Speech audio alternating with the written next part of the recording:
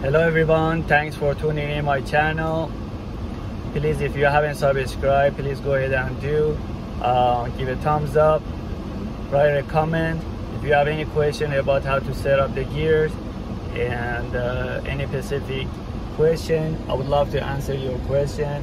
Uh, I need your support on this one and uh, make sure you subscribe and give the thumbs up. Thank you hopefully i'm gonna catch some good fish and upload it. Thanks